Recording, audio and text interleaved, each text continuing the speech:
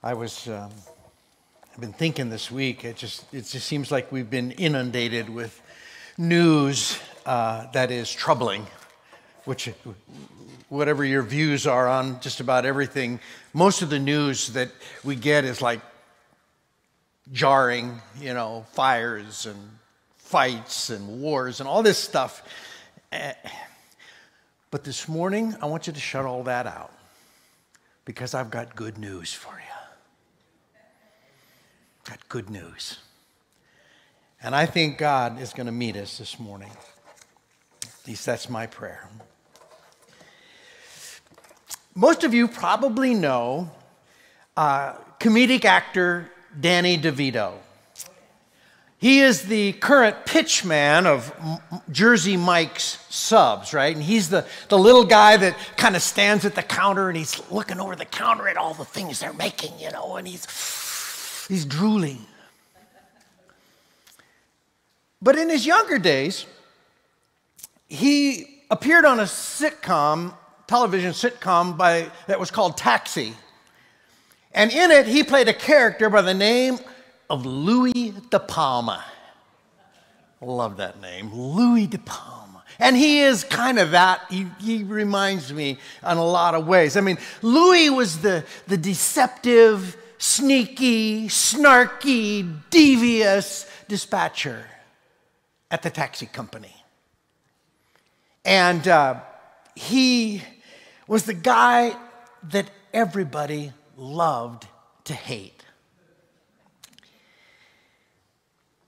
While the ensemble cast would sit around and they were all, they're all, you know, largely famous people l- later on now, but they would sit around and they were joking with each other and they were friends and they were making plans and dreams and you know before they got sent out on their assignments. And Louis Louis was always kind of on the periphery. He was always kind of listening in on what was going on and, and you know thinking of ways he could use what they said against them. And he was the kind of guy that, um, you know, he was often the butt of their jokes. Louis was not very lovable, nor was he very likable. Perhaps you know a Louis De Palma in your life. Hopefully, they're not sitting next to you.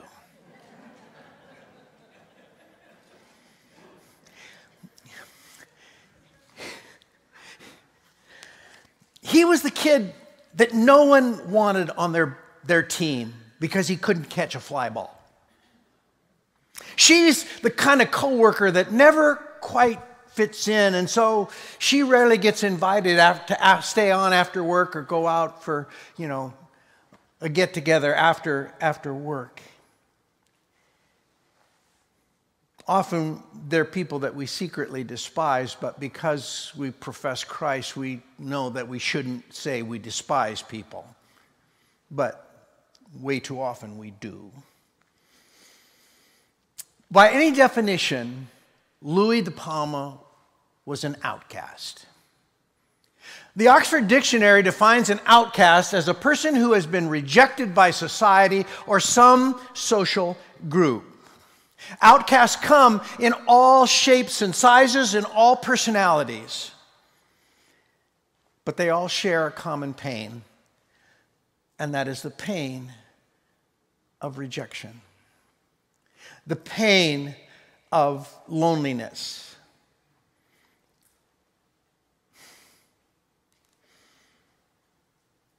Here's my big idea this morning. I'll get to it right away. My big idea is this Jesus loves the outcast. So can we. And maybe I should say, do we? Do we love the outcast? Do we love the person that we just as soon not be around?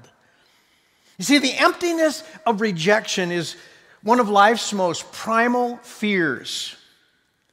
The fear of rejection drove my life for years wanting to be loved, wanting to be known, wanting to be heard.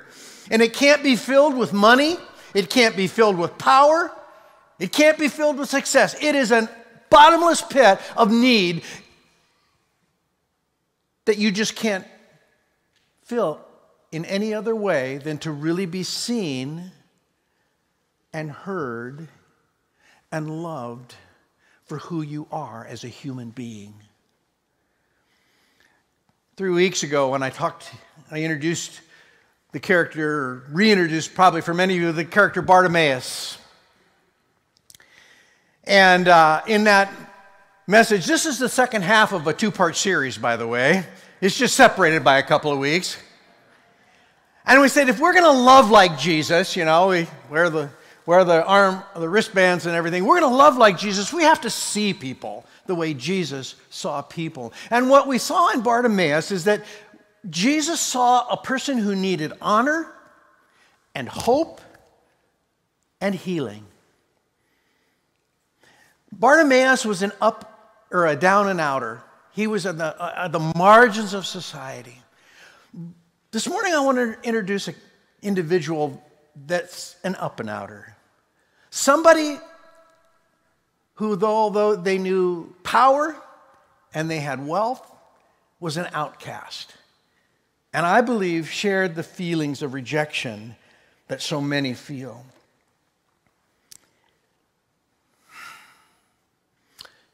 But Jesus saw him differently. In fact, he shows us by the way he sees him three ways that we can see the Louis De Palmas in our world, in our life. And you may have a face in your mind's eye of someone.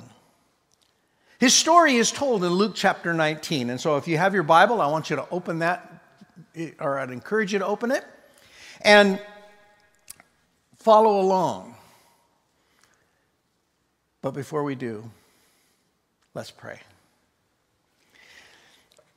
Heavenly Father, we pray that you would give us your eyes today and your heart for the outcasts, the people that although they annoy us or we just would rather not have to deal with them, you love them. Help us to see them with your eyes and act accordingly. I pray, Father, that the words of my mouth this morning and the meditations of our hearts would be acceptable to you. In Jesus' name, amen. So Jesus entered Jericho, the text tells us and he was passing through. These events immediately follow, or depending on the timing of the whole thing, we aren't exactly sure, but it was in the very same, on the very same trip through Jericho that he had just either met Bartimaeus or he's going to meet him on the other end. But in, in Jericho, as he's passing through, a man was there by the name of Zacchaeus. You say Zacchaeus, I say Zacchaeus. I, I get it confused. So if, I'm, if I switch back and forth, it's the same guy, okay? Zacchaeus, and he was a chief tax collector. And he was wealthy. He wanted to see who Jesus was, but being short, he could not because of the crowd. And so he ran ahead and he climbed a sycamore fig tree to see him since Jesus was coming this way. Now, as I had talked about in the story of Bartimaeus, Jericho was an extremely wealthy community. We find Jesus and his entourage on the way to Jerusalem and his destiny with the, cross he comes through Jericho, this town that we, I mentioned, it's kind of like we would consider Palm Springs. It's the winter home of the wealthy and the powerful, the royals. And there also happened to be a guy there by the name of Zacchaeus. And Zacchaeus was a chief tax collector in the area. And to, to explain that a little bit, you got to understand that the Roman imperial government did not have an IRS, they had an IES. They didn't have an internal revenue service, they had an imperial extortion service. Now, some of you might be thinking, so what's the difference? the difference is this that he was the chief tax collector over the area of Jericho. He had tax collectors that worked under him, kind of a multi level marketing deal. Okay? Each tax collector took their take from the people. They always overcharged because they had a certain amount they had to pay. They'd charge more. They'd cut, you know, would, would take a cut of it. And then Zacchaeus, he would take another cut of them. And so this was a man who was raking in money, and he was exceedingly, exceedingly wealthy.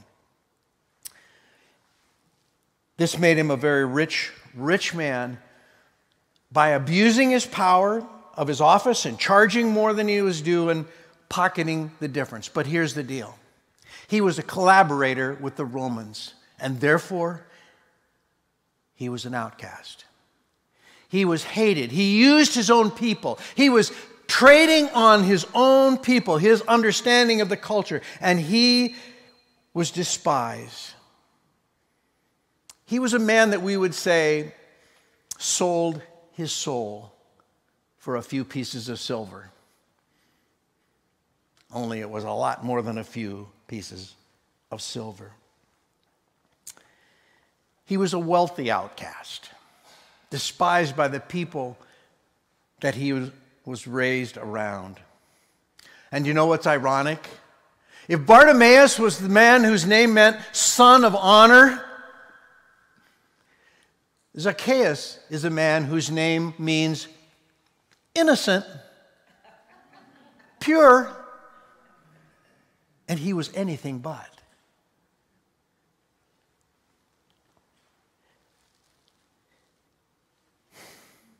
We have a funny relationship with wealthy people in our cu- culture, I think. Most of us would like to be wealthy, but we don't want to be known as wealthy? Ameriprise Financial did a survey in 2019, and they surveyed 3,000 people, affluent Americans between the ages of 30 and 69, who had at least $100,000 in investable assets. Of those 3,700 were millionaires. Okay? Of the group of millionaires, when asked how they would describe their economic status, only 13% would admit that they were wealthy. In fact, 3% thought they were poor. I don't know where they live, but there's this, there's this tension that we have that we feel like sometimes we, we resent rich people because we think they don't deserve it or they got it unjustly, right? There's, there, there's this, this mentality. But guess what, folks? If you're alive in this country or you were born in this country, you are among probably the 10% most wealthy people that have ever lived on the planet, even if you're homeless. We are wealthy. We just don't realize it. We don't like it. We don't like to think we are. Because we associate things often, you know, Paul said to, to, to Timothy in 1 Timothy 6 it is the love of money, not money, but it is the love of money that is the root of all sorts of evil because it leads us to places we don't go. In fact, in Mark chapter 10 and verse 25, Jesus says it's nearly impossible, or it is impossible, for a wealthy person to enter the kingdom of God. In fact, he says it's so difficult in Mark 10 25 that it is easier for a camel to go through the eye of a needle than it is for a rich man to enter the kingdom of heaven.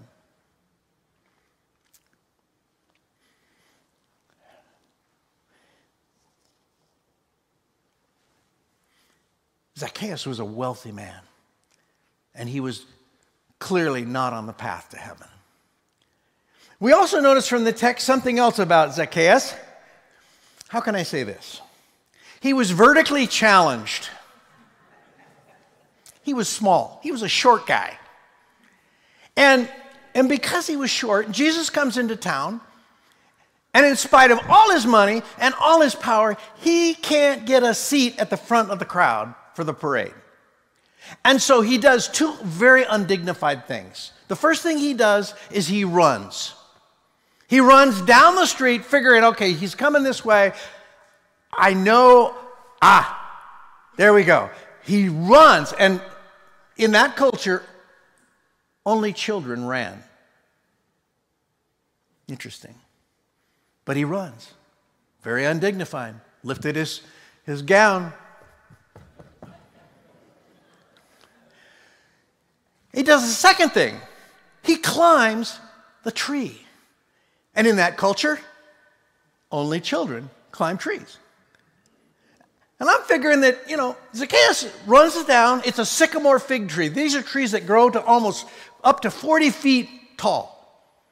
I've got a variant of a sycamore tree in my backyard, and I'm sick of that sycamore. It's dropping, my neighbor's is dropping stuff all the time, but it has great branches. And so I envision Zacchaeus thinking, okay, and he runs, he climbs this tree along with half the neighbor's kids, uh, half the village kids are probably up in the tree.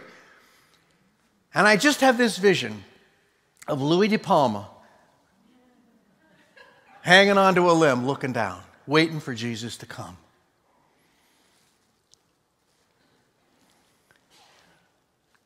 Why? Why does he do that? I think he does that because he's lonely, he's been rejected, probably repeatedly, and I believe this is what Jesus sees in him. This is the first way that Jesus sees him that's differently. And that is very simply this I think Jesus saw his openness more than his reputation. I think Jesus saw his, his desire to learn, his, his willingness to say, you know, I don't get it. I'm, I, this isn't working for me. Maybe there's something else. Jesus saw that more than his reputation. We tend to see people for their reputation, for good or for bad. And that locks us in sometime. But the emptiness of his rejection, I think over the years, made him curious enough to say he wanted to know what this rabbi had that he wanted. See, I believe he wanted to be seen and loved as a human being. I knew a guy in, in Texas years ago was the, the epitome of the American dream. He, be, he became, he went from rags to riches. He, he started a business, it took off and made him a multimillionaire over the years. And he, you know what he said after he had been rich for a certain length of time? He says, the only thing, I, only problem I have is I never know if people want to know me because of my money or for who I am. And I think Zacchaeus had some of those same feelings. He wanted to know how people felt about him or whether they were loved for his money. And climbing that tree, running and climbing that tree was an act of desperation that I think Jesus recognized. Because not everybody would do that. Not everybody is desperate enough to want to know what it is that Jesus had. So let's continue. When Jesus reached the spot, he looked up and he said, Zacchaeus, come down immediately. I must stay at your house today. So he came down at once and he was welcomed him gladly. And all the people saw this and they began to mutter. Hmm, typical. He has gone off to be the guest of a sinner.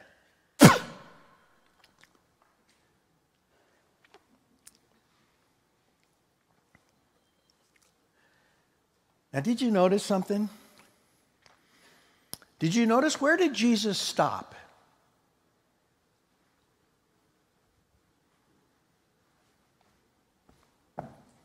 The spot.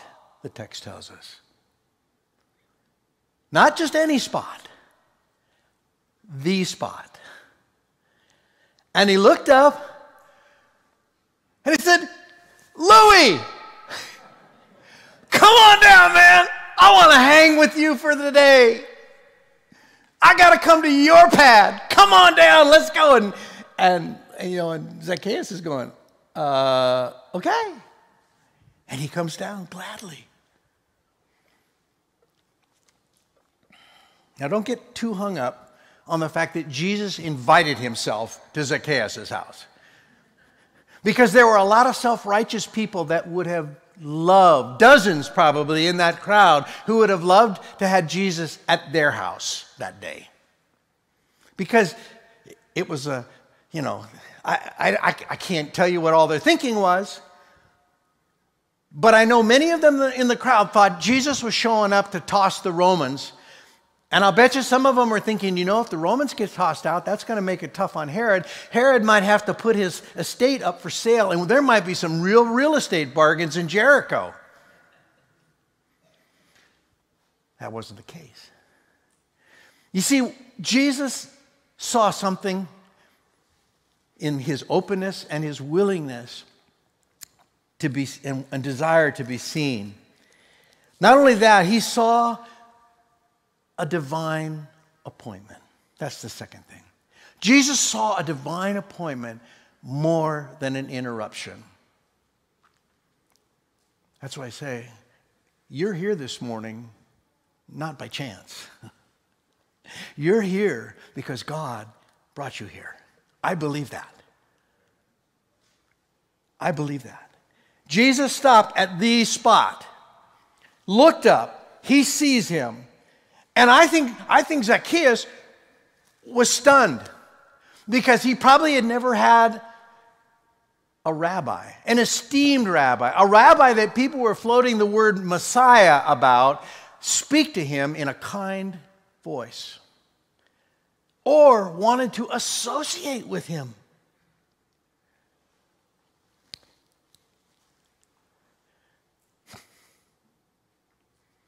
Zacchaeus comes down. It would be the equivalent of seeing Jesus go off to some drug dealer's house. That's how they felt about Zacchaeus. He's gone off to have dinner at a mob boss's house. What? See, to break bread in that culture was a symbol of fellowship. It was a symbol of closeness. It was a bond of a, a, relational bond was established. You didn't just have anybody over in that context. And, and they were saying, What's he doing? You see, my guess is, Zacchaeus was initially just as stunned. Because someone actually saw him for the first time, maybe in a long, long time. They actually saw him and wanted to know him. They, they wanted to be with him not for his money, and they didn't want to be with him to, to criticize his sin, which he was fully aware of, but they just wanted to be with him. See, people, that, you think that the people that annoy you in life are annoyances. They're interruptions in the life that you want to control and you can't. But they're not annoyances, they are divine appointments. They are divine appointments.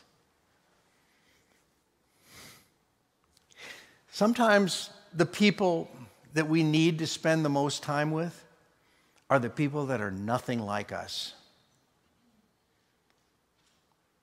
We don't like that. We like to be with people that are like us, don't we? We all think the same thing, we all agree on the same things. And yet, that's not going to change the kingdom. We need to spend time with those that are nothing like us so that we might see them by listening to them and hearing their hurts and their pain and their story and how they came to where they are. to reinforce their humanity. You know, it is so easy to dismiss people that are different from ourselves.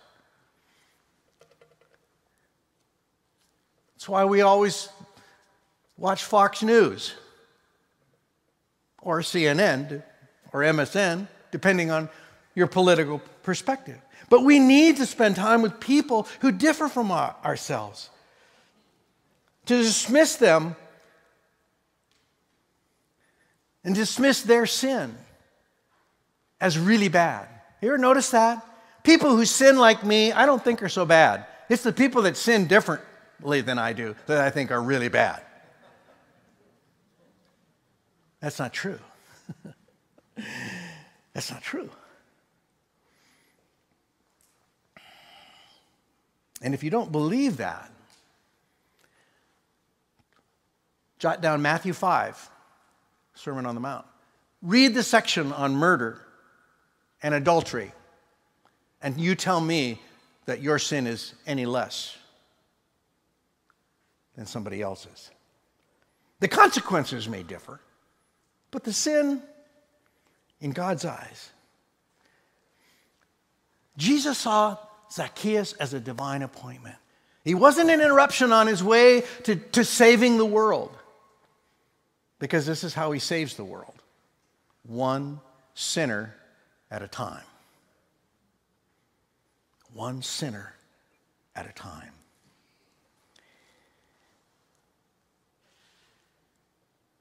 So Jesus saw his openness more than his reputation. He saw a divine appointment more than an interruption. But there's a third thing he saw. Look at verse 8. The text says, But Zacchaeus stood up. And it's like, well, wait a minute. He came down, he was, he was standing there with Jesus. And then the text says he stood up. It's not like somebody in the back, you know, always they kid short people. Hey, Louis, stand up. What do you mean I am standing? No, I think there's a gap between verse 7 and verse 8. Because if you notice, it says at the end of verse 7, he has gone to be the guest of a sinner. So they had departed. And what I think has happened is they've gone to Zacchaeus' house, and conversations have begun, and a meal has been served, and perhaps sometime in the midst of that, or just after that was over, we don't know exactly the timing. Verse 8 says, But Zacchaeus stood up. And he said to the Lord, Lord, look, Lord, here and now I give half of my possessions to the poor, and half I and, I, and if I have cheated anybody out of anything, and believe me, he had, this is not a conditional if, if this has happened. He's saying, this happened. If I've cheated anybody out of anything, I will pay them back four times. I'm not just going to make them good, make it good. I want to make it really good. I'm going to pay him back four times. And I'm guessing he had elaborate records that he kept and he could tell. And by that very statement, I'm guessing that what he was saying was he really was willing to sell everything he had to make things right. Now, this is where we need to understand something. He said, he's, he says that. And Jesus then says to him, Today, salvation has come to this house because this man too is a son of Abraham. This man too is a son of Abraham. You see, what we need to understand is when Jesus told the rich young ruler that he had to sell everything he had and come follow him, that's not how he got saved. We are never saved by our works. We are never saved by doing good things, although we're supposed to do good things. See, this statement and what would follow was not what saved Zacchaeus. Salvation has come to this house today. What saved him was faith. It always has been, it always will be. We are saved by grace through faith. This is not of yourselves, it is a gift of God. And you say, well, how do you get that? Because he says, this he says to him, This man too is now a son of Abraham. And in the, the, the uh, Old Testament, Abraham in Jewish culture, Abraham is the symbol of faith. If you, if you look at Hebrews chapter 11 and you see the, uh, uh, the, what was often called the Hall of Faith, Hebrews chapter 11, he is at the center of that chapter, and it says three different paragraphs by faith, Abraham, by faith, Abraham, by faith, Abraham. What he's saying is this too, this man now, he's no longer an outcast, he's part of the family. He is also a son of Abraham. And how are we sons of Abraham? By faith. By faith. By faith in the one that was standing in front of Zacchaeus, by faith in the Messiah, by faith in what he would do for him at the cross.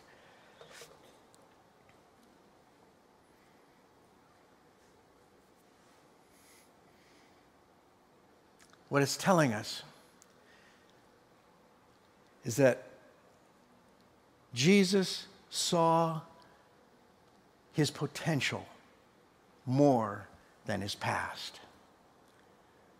Jesus saw that in Zacchaeus, not who he was, but he saw his potential more than what he was at that particular time. You see, by even by even Louis de Palma, the Louis de Palmas of the world are saved and by faith. And the people that are in your life that you think, oh man, they're never going to come to faith. Maybe you've been praying for them for years and years and years and years and years, and they just kind of go bumping along. They are saved by faith. Louis de Palma is exhibit A that a camel can go through the eye of a needle. Or should I say, Zacchaeus went through the eye of a needle. See, Christ's mission was in Mark chapter 10, or in, in, uh, confused. Anyway, Christ's mission was to seek and save the lost. That's what verse 10 tells us. To seek and save what was lost. His mission was not to make good people better. His mission was not to, but to make sinful people new. His mission was that lost people might be found. His mission was that dead people might be alive by faith in Christ. And that faith in Christ changes the way we see our life. And we are able then. Men and women, Jesus sees us not for what we have become. Listen to this, this is important.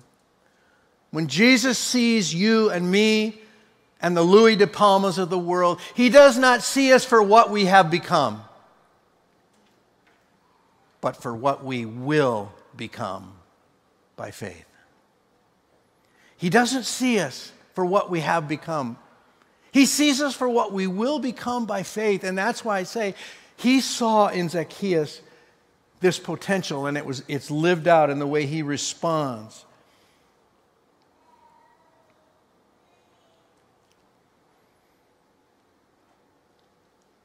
Jesus saw his openness, not so much his reputation. He saw him as a divine appointment, not an interruption. And he see, saw his potential more than his past. Now you're thinking to yourself, okay. But here's the deal, Mark. I'm Louis De Palma. The Louis de Palma in your life may be the one that's looking at you in the mirror every morning.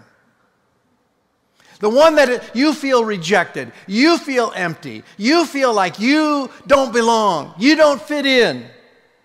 Maybe you're here this morning and that's, it's not the people that come into your life that are the problem. Maybe we are the problem. We are the one that something is missing. And the fear of rejection has driven you all of your life, as it did me, to succeed, to make money, to gain power, to pursue pleasure, to make myself a success.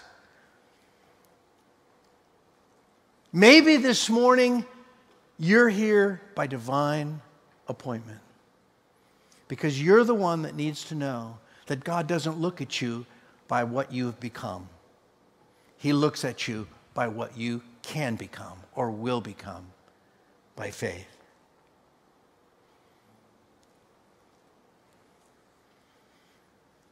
Jesus is here right now. He's right, he's right here. His spirit is hovering over this place. And he's saying to you and to me, Louis, Mark, Mary, Jim, Brenda, whatever your name is, I'm here.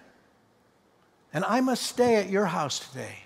I need to come in and stay with you and bring my healing and my hope to your life. I know everything about you.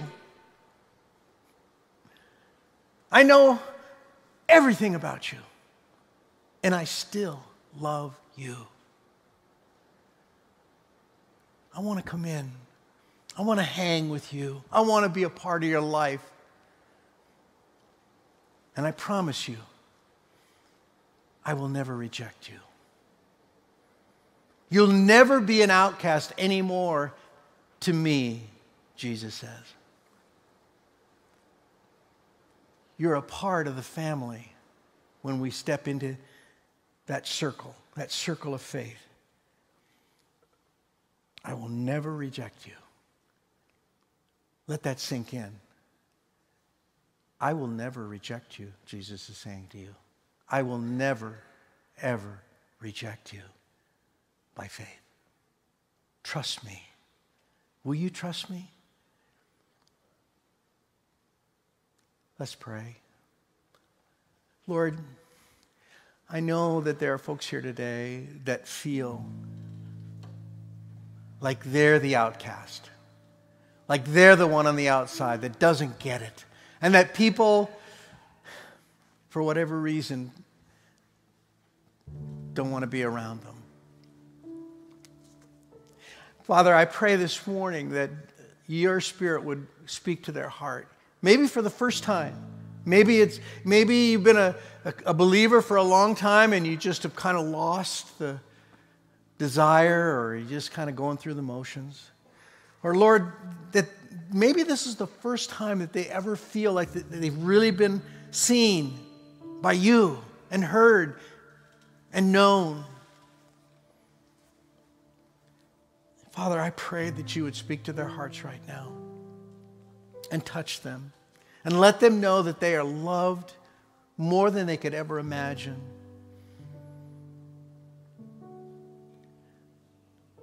I pray that, Father, that you would, by your Spirit, that they would open your hearts to you. Right now, right here, today. This divine appointment, that they would, Father, that, they would open their hearts and and say, Lord, forgive me. I've made a mess of my life. You see that. You know that. Cleanse me, I pray, Father, from my sin, my pride, and my arrogance, and my unwillingness to become like a child, climb a tree, ask for help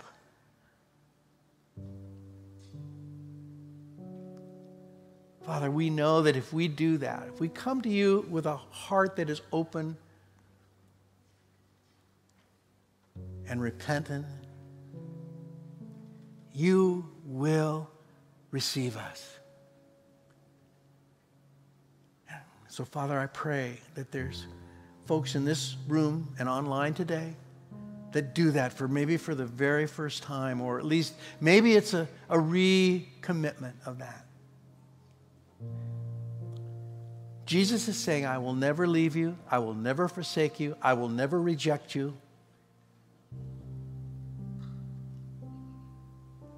Open your heart to me.